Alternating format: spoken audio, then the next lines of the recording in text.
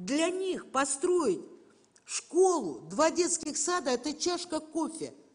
Два раза им в ресторан сходить, извините меня – с 96 -го года ни одной школы. Будничным примером Валентина Матвиенко эмоционально подчеркивает отстраненность Норникеля от проблем северного города. Председатель Совета Федерации заключила это после выступления коллег, которые ездили в Норильск и осмотрели последствия аварии на ТЭЦ-3. Экологическая катастрофа обнажила и городские проблемы. Впрочем, и в них, и в ЧП виноват Норникель, не сомневается Матвиенко.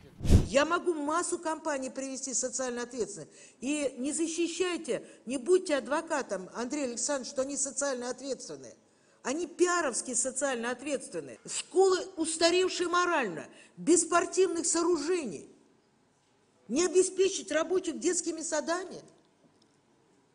Боятся из списка Forbes вылететь, не вылетят. И даже не подвинуться ниже.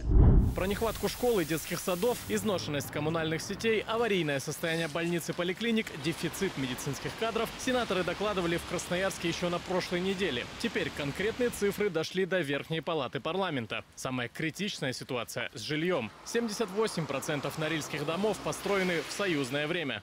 Если говорить об общем впечатлении от состояния жилого фонда, ну, наверное, там можно рекомендовать нашему кинематографу снимать фильмы «Катастрофы», потому что вот, даже на фотографиях, которые здесь были представлены, можно видеть, в каком состоянии находится жилой фонд. Поэтому очень важно поддержать разработанный э, администрацией проект программы реновации жилищного фонда на период до 2035 года.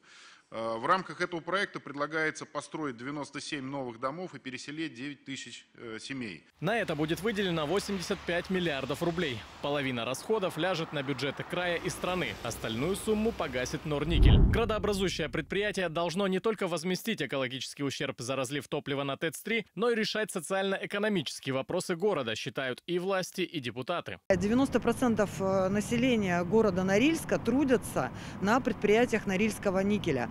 При этом весь жилой фонд просто сброшен на город, и город вынужден а, его ремонтировать. Но там суммы, например, капи по капитальному ремонту никогда в жизни жители, проживающие в этом доме, на этот капитальный ремонт не накопят. В целом же участники заседания Совета Федерации заключили, что Норильску нужна новая программа развития города. Реализовать ее должны власти всех уровней вместе с бизнесом. Что касается текущих дел, губернатор Александр Ус выразил готовность прислать делегацию специалистов, которые с сенаторами будут дорабатывать проект постановления Софеда по Норильску.